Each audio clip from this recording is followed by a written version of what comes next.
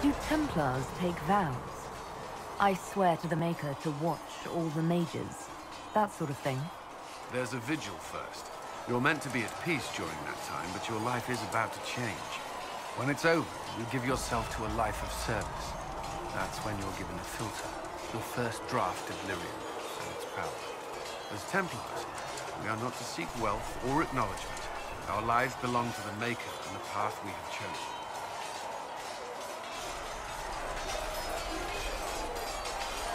A life of service and sacrifice. Are Templars also expected to give up physical temptations? Physical? Why... Why would you... That's not expected. Templars can marry, although there are rules around it, and the Order must grant permission. Some may choose to give up more to prove their devotion, but it's not required.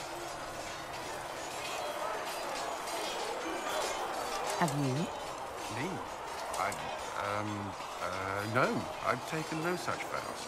Maker's breath. Can we speak of something else?